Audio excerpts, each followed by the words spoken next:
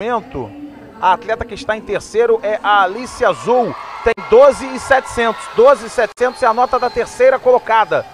Acima de 12,700 mantém a chama do Brasil para medalha. Bora, Ellen!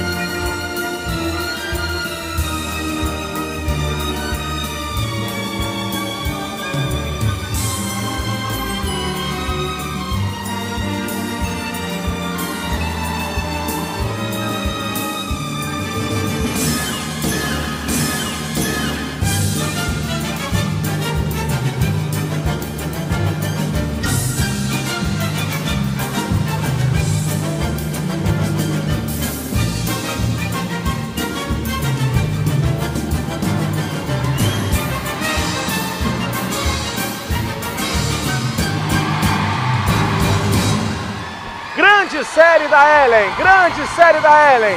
Bastante expressiva, muito carismática, ganha o público. Ganha o público, ganhar a nota dos jurados e dos árbitros depois é um segundo departamento.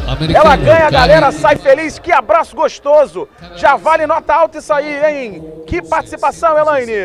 Muito bonita a série da Ellen.